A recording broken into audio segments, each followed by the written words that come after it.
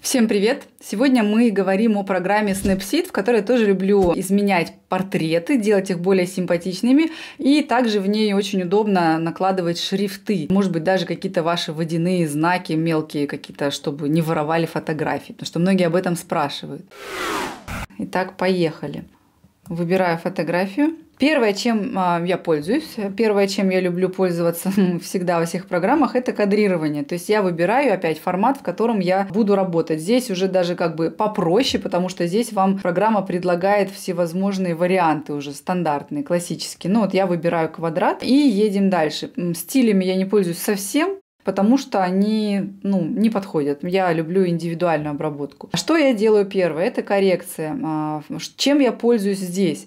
Иногда следует э, добавить яркости или, может быть, немножко теней. Это вы решаете в зависимости от того, что перед вами. Если у вас засвеченная фотография, где видно плохо детали, ну попробуйте спасти ее, немножко убрав яркость. Но, как вы помните, засвеченные фотографии сложнее корректируются, чем темные. Поэтому излишек света это тоже не всегда очень хорошо. Я немножко яркости уберу для того, чтобы у меня появилось больше объема. Контраст я добавляю не всегда, можно сказать даже никогда, потому что на портрете таком, где важен эффект в общем, который производит в портрет, он не очень нужен. Я люблю вот здесь светлые участки добавлять. Так как я сейчас добавила чуть-чуть теней, да, убрав яркость, я могу теперь добавить немножечко светлых участков. Видите, освещенная часть тоже меняется, становится более светлой, а темная часть остается темной. И это придает больше объема портрету. То есть он перестает быть плоским, становится таким более профессиональным. Поэтому я люблю. Также вы можете посмотреть э, и, может быть, добавить теней, но вы должны понимать, что чем более контрастные тени по отношению к светлым участкам,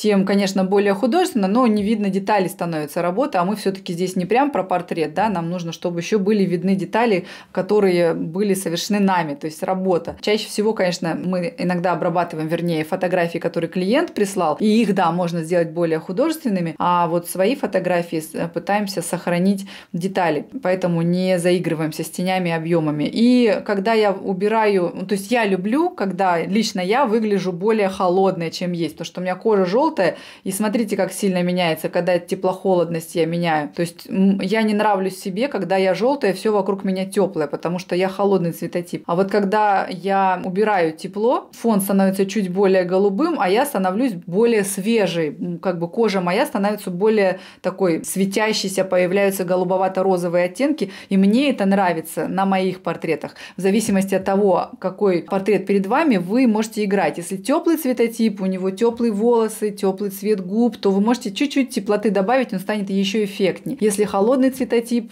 то наоборот, чуть-чуть убираете теплоту, становится более прохладным и фон, и сам, сам портрет, и достоинство подчеркивается, недостатки становятся менее видными. И вот здесь в верхней части вы можете нажать «Сравнить», что было, что стало. Видите, на мой взгляд, стало прям я свежее, я себе нравлюсь больше. Ну, опять, обработка всех портретов – это дело субъективное, конечно. Нажимаем галочку, сохраняем. Едем дальше. Что мне здесь нужно? Вот нужна ли мне резкость? Да, я смотрю. Здесь у нас, кроме резкости, есть еще структура. То есть это немножко разные характеристики. Сначала сгоняем все на ноль и смотрим, как изменится. То есть сначала выбираем структуру. Смотрите, структура меняет э, состояние кожи, то есть она как бы усиливает все какие-то мелкие вот дефекты и все прочее. Посмотрите на лицо. Стали видны все прыщики, все поры, они стали более объемные. Поэтому вы можете структуру уменьшать, то есть, смотрите, лицо становится более мягким, но не заигрывайте, чтобы не стало вылизанным, да, то есть нам нужны все детали сохранить, но убрать какие-то неровности кожи, которые вы запаритесь убирать, допустим, точечно, да, чтобы, в общем, лицо стало смотреться более мягко. Также структура хорошо э, ее применять, когда вы делаете обработку локально, но об этом поговорим позже, то есть не портрета, а прям работы своей. Об этом я расскажу вам в других видео.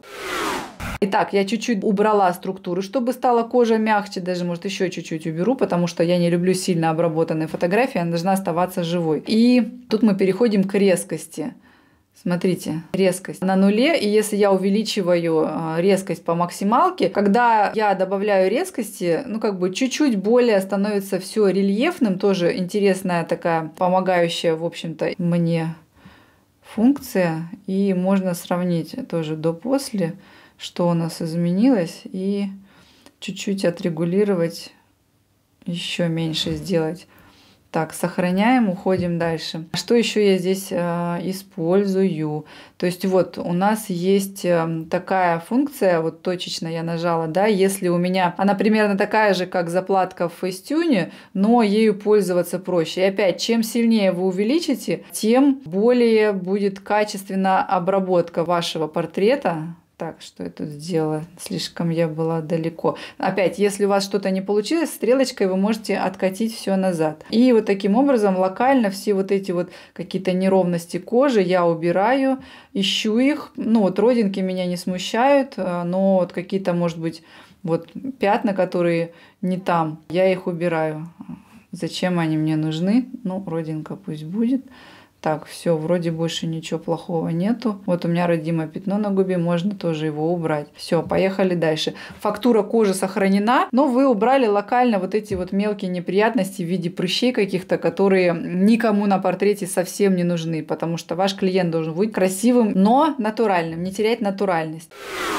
Так, что еще здесь можно добавить для красивости? То есть мы сейчас говорим просто о том, чтобы портрет стал эффектным. Блеск софита. Что это такое? Смотрите, здесь сразу слишком много добавлено. Сгоняем все в ноль и выбираем. А, то есть у нас тут есть насыщенность, тепло и сияние. Да? Если добавить сияние, смотрите, как, как из старого кино становится кожа интересная. То есть если вы выберете для себя какой-то определенный стиль обработки, то вы можете потом пользоваться им, и ваше портфолио станет узнаваемым. Но вы должны прежде, чем выберете поиграть с этим. То есть сияние немножко добавить можно, чтобы лицо стало как бы интереснее, как-то оно становится нежнее. Насыщенность опять она здесь как-то на максималочку.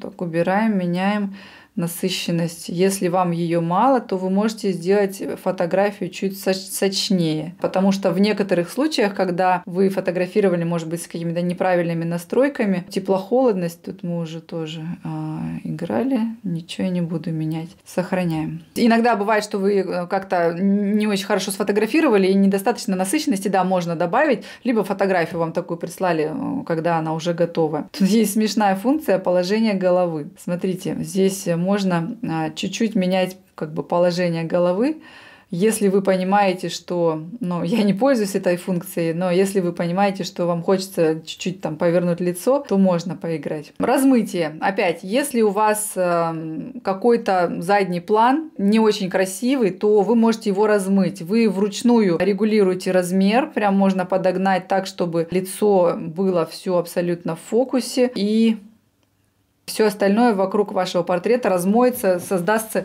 эффект баке. Степень размытия вы можете регулировать также, видите, да, вот я тут у меня голова одна осталась в кадре, и в принципе тоже можно добиться очень такой эффектный 3D объем получится у вас, если вы размоете задний фон. Степень размытия и форму вы можете выбирать, ну, просто пальцами увеличивая, уменьшая. То есть я советую этим пользоваться, потому что все это помогает э, сделать ваше портфолио и узнаваемым и более эффектным. Поэтому не ленитесь. Так, здесь у нас э, круг и винитирование. Что такое виньетирование? Это когда затемняется вокруг портрета и выделяется середина, выделяется лицо, становится более таким объемным. То есть прям выглядит уже так, как будто а, художник обработал. Тоже, да, можно регулировать, чтобы не было слишком. Можно наоборот сделать слишком. То есть смотрите, как сильно меняется эффект. Но опять вы должны определиться, выбрать для себя примерно, как будет выглядеть ваше портфолио в общем и придерживаться вот этих настроек, чтобы чтобы у вас появилась какая-то узнаваемость. Ну ладно, сохраняем, идем дальше. Что у нас тут еще есть интересного? Тут есть также виньетка отдельно, то есть принцип такой же, только смотрите,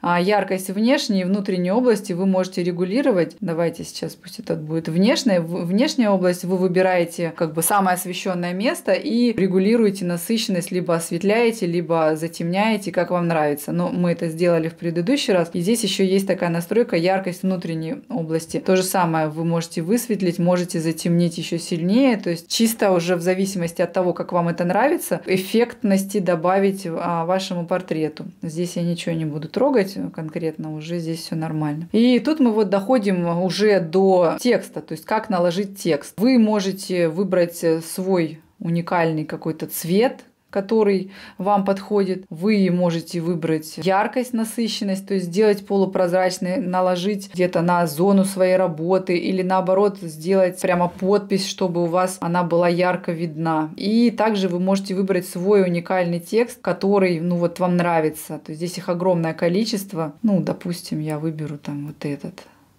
вот этот. Все. И пишите. Пишите Маша Пупкина.